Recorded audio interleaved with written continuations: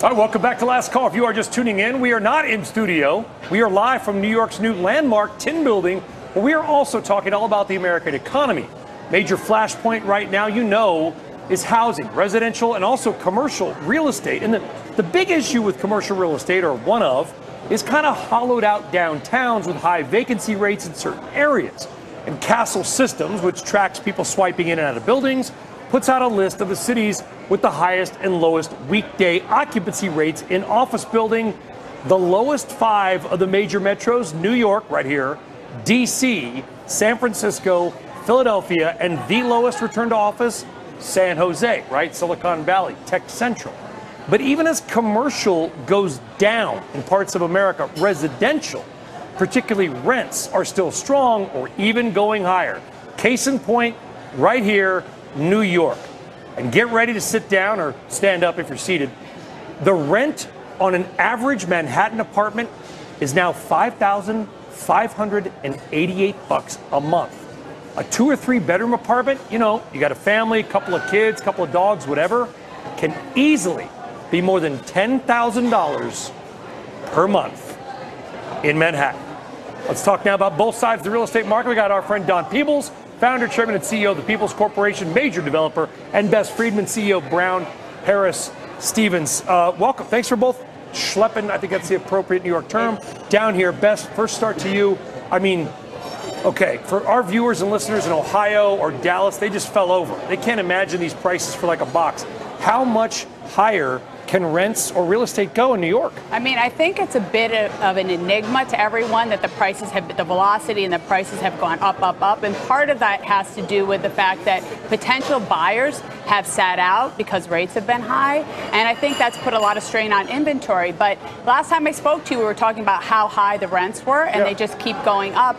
I think eventually it's going to cool off, but I can't. I wish I could tell you when. I can't macro and, and, and higher interest rates haven't seemed to matter. Nothing has seemed I, to matter. I know it's a, it's put a lot of stress. There's enormous frustration. Talked to a lot of friends and family and clients who are very upset and frustrated with the market. There's not a lot of inventory out there, and what is out there is expensive, and there's a lot of competition for it. But it's New York City, which is an outlier. The rest of the country, we're seeing a little bit of slowing down, and things are starting to shift a bit. I think that will happen happen in New York, but it's going to take a little bit of time. And remember, it's seasonal too, Brian. Remember, this is the best time for the rental market. The summer months are when 80% of leases get signed, so that also plays into this a little bit. So if you're going to lease, maybe now is not. That's exactly. That's a very important point. well, if you have to, you have to, I guess. You know what I do? It's all about location, location, location, Don, and I think that's so true. Listen, Manhattan right? It's not perfect, but I feel like New York City has really come back. I've traveled probably like you have all over the country the last two years. New York City feels vibrant. Look where we are. It's packed.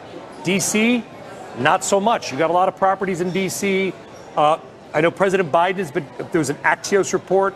It's going to mandate people back to the office five days a week. Do you support that? Absolutely. I think, well, first of all, Washington, D.C. is, is at a high risk of almost being destroyed as a city. If people don't come back to work, I mean, D.C. is a federal city. It relies very heavily on the presence of the federal government and federal government employees.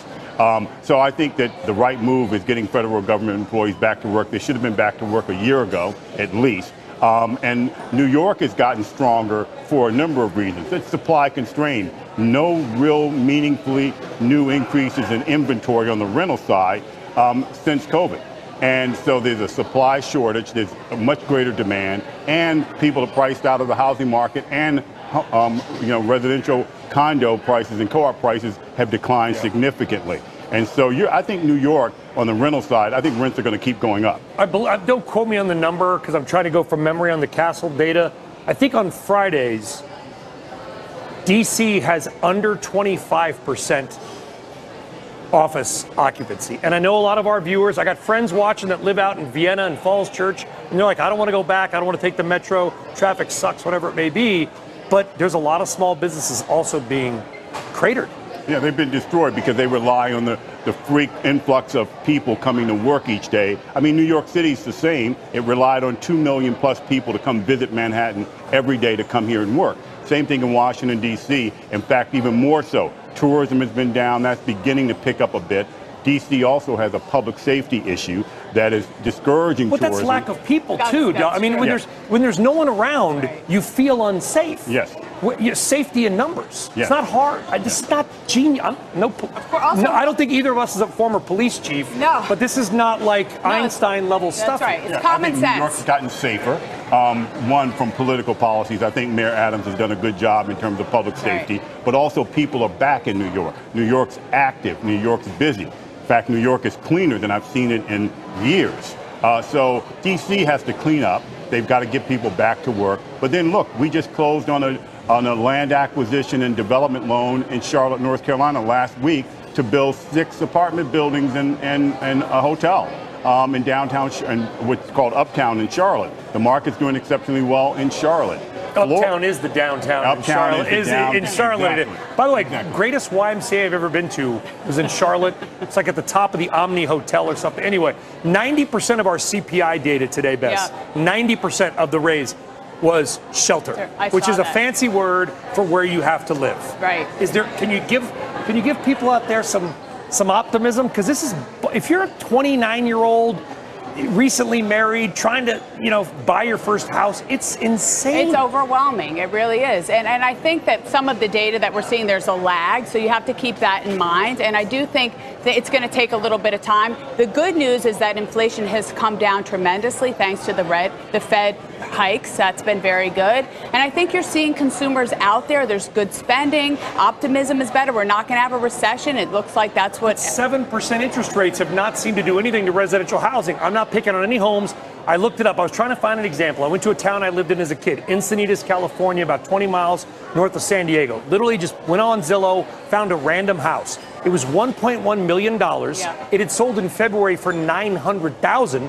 As far as I could tell, not a lot of improvements were made. Right. And it's three bedrooms and two baths. I mean, and it's I- not on the water. It, it, it's crazy. I mean, that, that the housing market has been. I mean, look, during the pandemic, we saw it really impacted, and now we've seen this resurgence. But at some point, the trees can't grow to the sky, and I think things will, you know, hopefully start to teeter off a little bit. New York is tough. New York Look, is tough. I mean, all the, appre- I mean, look, Florida and other markets were having 30, 35% appreciation annually. That was heavily driven on interest rates. Most Americans get a mortgage on their home. They're concerned about a payment, not necessarily the price of Yeah. the property. What can I afford and so month? now, Yeah. as pay, interest rates go up, prices start slowing down. So you're not seeing as much price growth, but interest rates have made payments go up. When I bought my first home in 1987, my interest rate was 9%. When I was doing my first development deal, I paid 9.5% for a construction loan. Our business is efficient. People will adjust, but interest rates are going to be higher for a long time. And this generation is used to cheap money. They're not used to rates being Uh, this high. I'm just saying. I'm just saying. You know, that's part- Buried the lead, Bess. That's We're it. all out of free money. free and super It's- cheap money. that's- That's, it's it. over. You're Those paying. days You're are- buying that fish is on you tonight. We're Uh, gonna uh, whatever. for everybody. I'm That's treating- a tile fish. It eats lobsters. Apparently, it has sharp teeth. It's got to come with the lemon pizza, though. That's spectacular. That's the Don, best. best So thing. good. All right, up next.